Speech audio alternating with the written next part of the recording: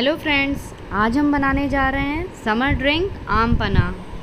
इसके लिए मैंने लिए हैं दो कच्चे आम। इसको अब हम छील लेंगे।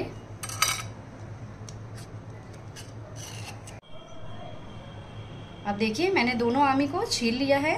अब हम इसे छोटे छोटे पीसेस में काट देंगे और कुकर में एक सीटी लगा के बॉईल कर लेंगे। अब मैंने इसे कुकर में डाल दिया है। अब इसमें हम थोड़ा सा पानी डाल देंगे। और इसको बंद करके हम एक सीटी लगा देंगे। अब देखिए, मैंने कच्चे आम को बॉईल करके एक जार में डाल दिया है। अब हम इसमें डालेंगे एक हरी मिर्च। इसको ऐसे हम तोड़ के डालेंगे। और इसमें हम डालेंगे एक टुकड़ा अदरक का, जिसके मैंने पीसेस कर लिए हैं। अब इसमें हम डालेंगे कुछ पुदीने के पत्ते।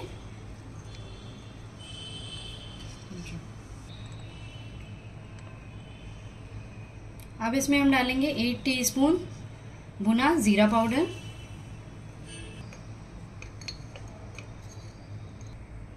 एक टीस्पून काला नमक। नमक आप अपने टेस्ट के अनुसार कम ज़्यादा कर सकते हैं। अब इसमें हम डालेंगे टू टीस्पून चीनी। अब इन सभी चीज़ों को हम मिक्सी में पीस लेंगे। अब देखिए, मैंने इसे अच्छे से पीस लिया है और एक पेस्ट तैयार कर लिया है। अब इस पेस्ट को आप चाहे तो तुरंत भी यूज़ कर सकते हैं और चाहे तो स्टोर करके किसी कांच के जार, जार में रख लीजिए। 10 से 15 दिन ये एकदम ऐसे ही रहे। और मैंने आम पना बनाने के लिए लिए हैं दो ग्लास। इसमें हम डालेंगे पेस्ट। एक चम्मच पेस्ट इसमें और एक चम्मच इसमें। अब हम डालेंगे दोनों में चिल्ड पानी।